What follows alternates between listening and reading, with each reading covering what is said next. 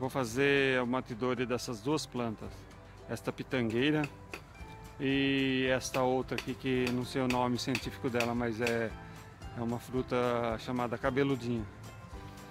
As duas cresceram juntas e não está num lugar conveniente aqui, então já fiz a poda drástica dela e também cortei todas as raízes grossas e cavei em volta deixei só as raízes capilares.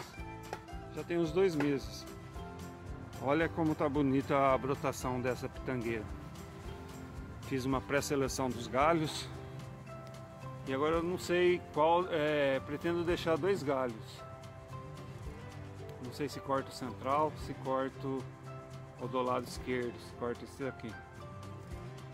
Se vocês puderem dar uma opinião de qual ficará melhor, depois e se posso já fazer o transplante dela numa bacia ou num vaso de treinamento. Se espero para a chegada da primavera para fazer isso, se faço agora no inverno. Tá muito bonita a brotação dela.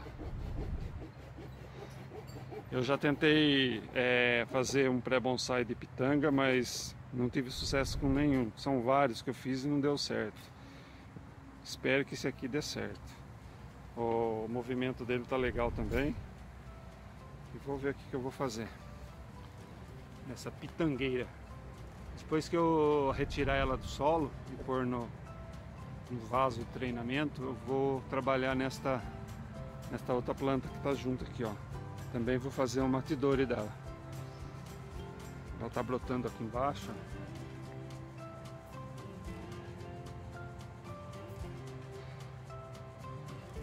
E é isso aí.